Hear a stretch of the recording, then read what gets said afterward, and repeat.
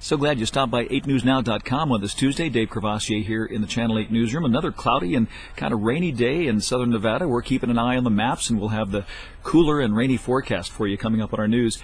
Internet gaming is the uh, the big buzz at the global gaming conference in town here. A new online poker code of conduct is being proposed that may help sway new members of Congress into the ways of gaming. Cherie Harvin has the latest on that. North Las Vegas police believe they have busted up a burglary ring and they have a warning for residents to take better care of their stuff. About 300 of the approximately 400 seniors at Del Sol High School are in danger of not graduating. Now, there's a brand new principal in place to take care of that, but we'll tell you how he is really uh, depending on the help of parents to get things done at that school. We'll have the latest testimony from the Conrad Murray trial accused of killing Michael Jackson, and why Las Vegas is one of the top food and wine destinations in the country.